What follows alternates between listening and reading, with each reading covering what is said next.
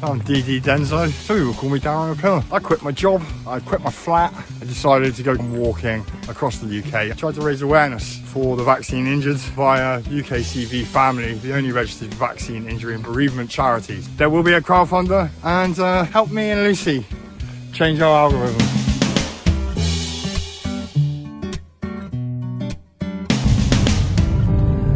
So we're on our way to Ilfracombe, which uh, we was informed as we left the Dibble Park by Carol, the landlady there, uh, that it was a bit rough and they had a few drug problems and immigration was mentioned as well.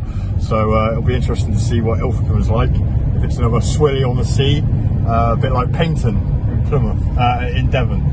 Uh, anyway, so we're on there and we've just spent the last three days at Dipple Farm. We, we extended our stay. We was only going to plan to stay there for two days. And I have to say, this part of the country, North Devon, North Somerset, uh, is absolutely spectacularly beautiful. Lucy just said it's like an Enid Blyton book. Yeah. It's, it's how you imagine uh, England to look. So absolutely spectacular. And if you're looking for a campsite in the south of England, in the Devon area, uh, where it's beautiful, it's quiet, it's peaceful, it's clean, you will be looked after like a superstar. Go and Google Dipple Farm. They've got their website. Uh, please go and check that uh, campsite out. And uh, they, uh, it's just an amazing place. Anyway, we're off to Ilfracombe, me and Lucy are looking at doing some weather dodging over the next week because the rain and the thunder and lightning is expected right across the south. There's no way we can avoid it, uh, but we're going to try our best.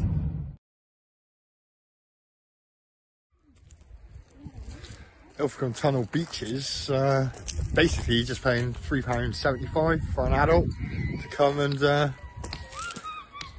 sit on your own private beach. Uh, and as I said in the intro, um, some uh, Carol, the landlady at Dipple Farm, she said, you know, oh, Ilfracombe's quite rough. And we've walked in, we've seen a few, you know, it looked really, really nice and lovely when we got here. But as soon as we stepped away from the town centre, uh, you could see the underbelly of this place, which is definitely poverty. Uh, there was some homelessness, uh, boarded up shops and stuff. You could just sense it that this is a place in decline. And it might be, if you could afford £3.75, it might be nice to just go on the private beach.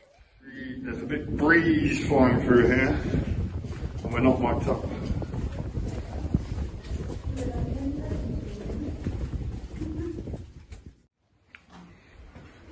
allow people to wade in the ocean without violating Victorian notions of modesty.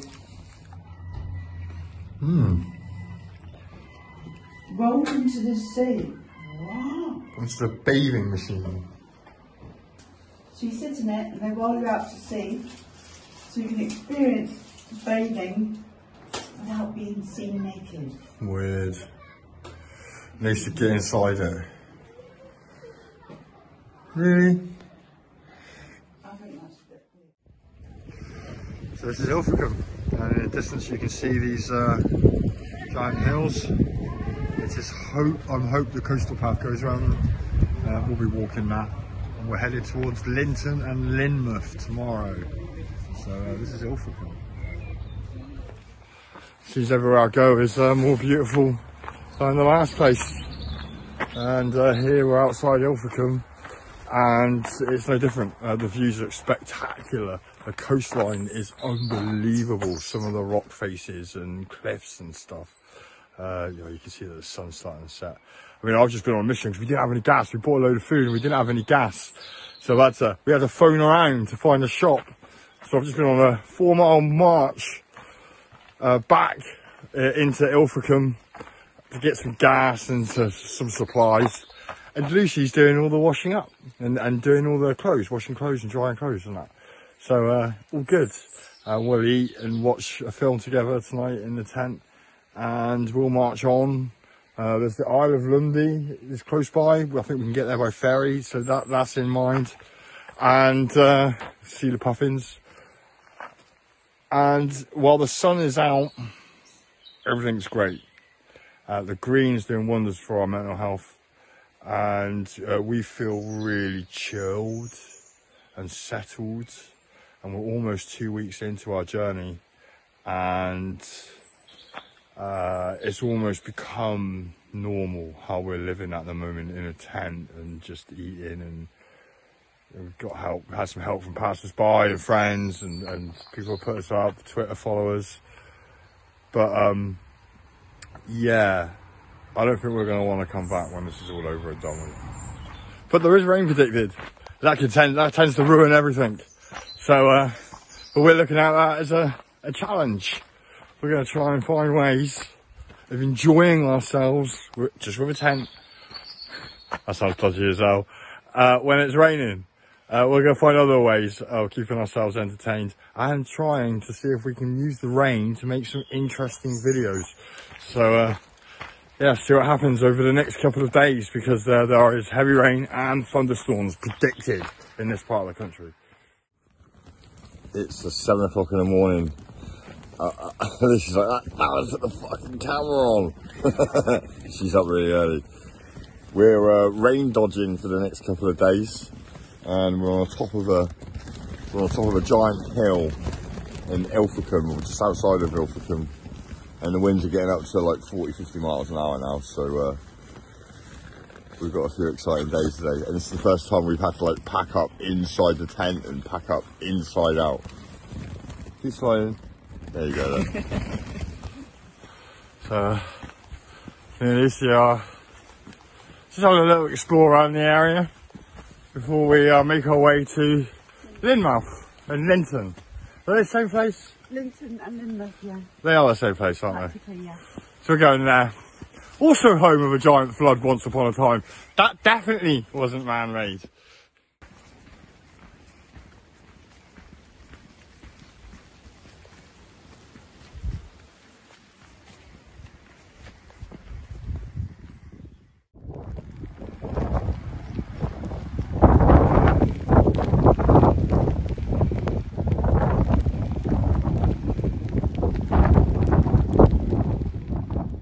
This is my favourite plant.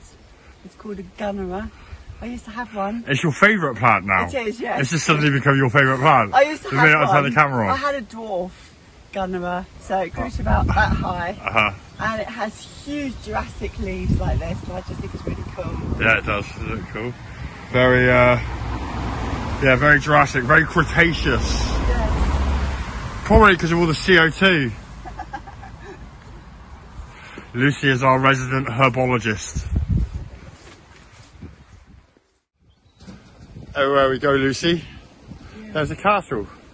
Now, I'm not saying it's my favourite castle, John, because Camelot Castle is still my favourite.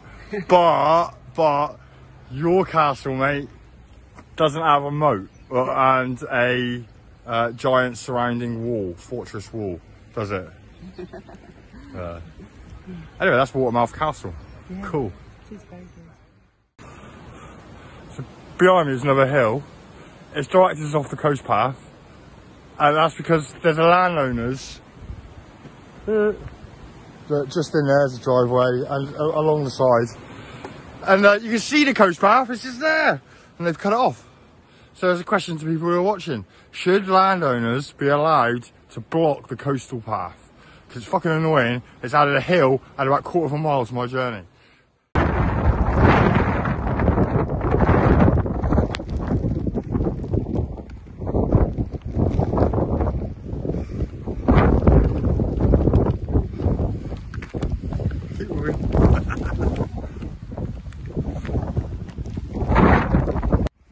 This is Combe Martin. And look at the amazing scenery. We're probably going to climb up that hill over there, so this path to up.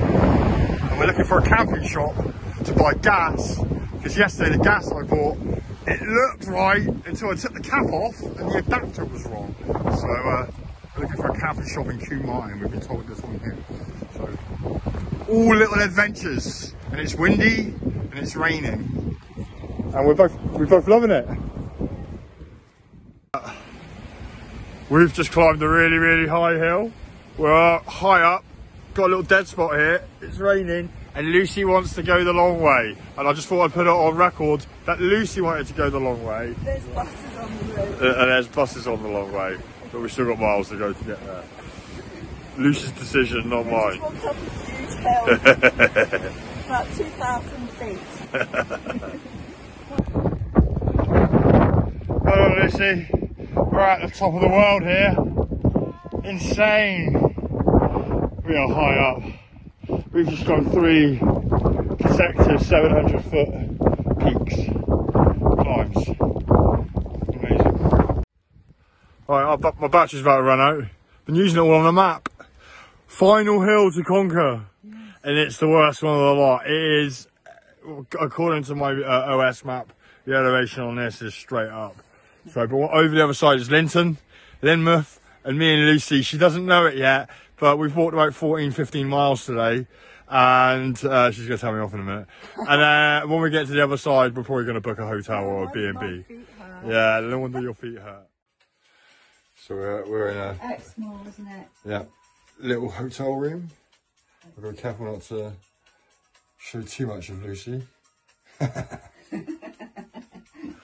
and uh, as you can see, it's been uh, quite a long day's hiking, Drying our clothes. and everything right now is drying because we've been walking in rain all day. Uh, some things have got wet. The tank was already wet from this morning, so yeah, this is our pit stop, so to speak uh, before we move uh, eastwards again.